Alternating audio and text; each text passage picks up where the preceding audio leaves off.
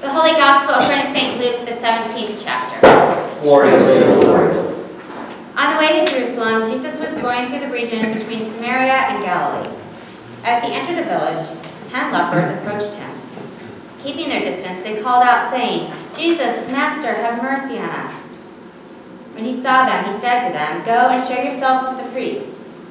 And as they went, they were made clean. Then one of them, when he saw that he was healed, turned back, praising God with a loud voice. He prostrated himself at Jesus' feet and thanked him. And he was a Samaritan. Then Jesus asked, Were not ten made clean? But the other nine, where are they? Was none of them found to return and give praise to God except this foreigner? Then he said to him, Get up and go on your way. Your faith has made you well. The Gospel of the Lord.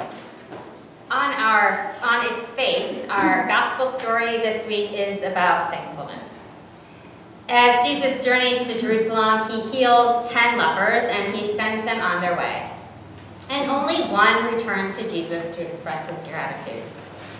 And in doing so, the man experiences unmatched joy and deep wholeness. And I believe that prayers of thanks are part of the, whole, the soul's healing and deliverance. However, this story also presents us with a conundrum. We are left wondering, why didn't the other nine return to express their thanks? And frankly, Jesus is left wondering that too. Why didn't they return? Why didn't they fall at, their, at his feet in thanksgiving? Why didn't they devote their lives to following him? And I also wonder in this story how, how Jesus asks this question. You know, what tone of voice does Jesus use when he questions the whereabouts of the other nine? Is he angry about it? Is he frustrated or irritated or flabbergasted, sad or unsurprised? I think I've often assumed that Jesus was irritated. I mean, I would be if I had performed a miracle 10 times over and only one person returned to even say, to even care or say thank you. So I have always assigned selfishness to the other nine. They're so caught up in their new lives that they don't even take notice of Jesus. But today, or this week upon reading it, um, I believe that Jesus was sad. Deeply, deeply sad. And that's sad that they didn't say thanks. I mean, not in that way at all. Um, that would make Jesus as self-absorbed as I am. But rather, I believe that he's heartbroken because they didn't realize that they already belonged to him. Even before this miraculous healing, they belonged to Jesus. See, these ten, they subsist in no man's land. According to the customs of the day, they had to live in seclusion keep their distance from anyone who might pass by, sport torn clothes and disheveled hair, and announce their own contamination in a loud, humiliating voice of, of cries shouting, unclean, unclean. These are people who live in the shadows, and their aloneness is almost otherworldly. An invisible barrier, solid as granite, separated them from the rest of humanity. They are wholly untouchable. As I think about this reality, what frightens me the most is not their leprosy or their disease, but rather their utter and complete lack of belonging to someone or to somewhere, to anywhere or to anyone. When Jesus heals their leprosy, he doesn't merely cure their bodies. He enables their safe return, or their hopeful safe return, to all that makes us fully human family, community, companionship, and intimacy. In other words, Jesus enters a no man's land, a land of no belonging, and hands out ten unblemished passports. He invites the exiles home, home to him. But the only one who truly realized this was the one, the one who returned to him. Because let's face it, just because they're all physically clean, there's no guarantee that they're going to be let in. In everyone else's minds, their passports still list their home country as no man's land. The one sees his identity, the truest place of belonging. He sees that that lies at Jesus' feet. He sees that Jesus' arms alone are wide enough to embrace all of who he is a leper, a foreigner, an exile, an outsider. But mostly, Jesus' embrace tells him that he's a beloved child of God. The other nine don't realize that their own families and friends will still reject them. And the others don't realize that the world still thinks they are worthless based on their skin. And the others don't realize that Jesus alone will welcome them. And why should they? Why should they believe that the world can be such a harsh and unwelcoming place? Shouldn't they believe that if they've done all the right things and gone through the proper channels and presented themselves to the officials and have a clean passport that they should be let in?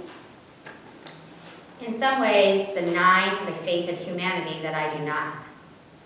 And so I believe that Jesus is sad and heartbroken and anguished, not because they don't give thanks, because they still won't know belonging, even after their physical healing. He knows that the world will reject them, just as the world rejects him. And so I wonder if we can read this passage and allow ourselves to see what hurts lie deep in people, causing them to be the way they are, or do the things that they do. The challenge for us is to really see beyond the skin's surface. These days, brown-skinned children languish in cages, Politicians weaponize borders, and racial and religious minorities fear mistreatment in their own neighborhoods, schools, and worship places. Just this past week, our Jewish, our Jewish siblings in Germany were terrorized in their own synagogue on the holiest day of Judaism as a gunman fired upon them. How is it that our hearts have become infected by fear and hatred and exclusion? Ultimately, this story is about faith as a form of courage. The one takes a courageous step towards Jesus, and it changes everything. A step that wells up in him from the deepest caverns of yearning and sorrow and compels him to risk everything, just to finally belong somewhere. After falling at the feet of Jesus, the one is told to get up and go on your way. And I honestly wonder what he did in response to Jesus' declaration. Did his courage give him the strength to return to a place that didn't want him and demand justice? Did his courage compel him to stay at Jesus' side and make Jesus' home his home? Did his courage help him wonder why he's always felt alone? Did his courage inspire him to stay in no man's land, caring for the others who were left behind? Because let's face it, there were more than 10 lepers languishing on the border. I don't have the exact answer, but I feel confident that in having been welcomed, loved, and cleansed by Jesus, he couldn't help but encounter the world with mercy, kindness, and justice. I feel confident that Jesus calls us to take courageous steps like these too. It is our tendency to see the world as populated by us and them. Somehow, any one of them or the other is dangerous to us. Perhaps it's not surprising that this issue of belonging is as timely today as it was in Jesus' time. Jesus does not ration healing because there's not enough to go around or so it only when it only benefits certain people. Jesus knows that we belong to them and they belong to us, and we are stuck with one another. Jesus imagines a world where you really can go home. A world where your flaws are not used against you, but rather help others become more whole.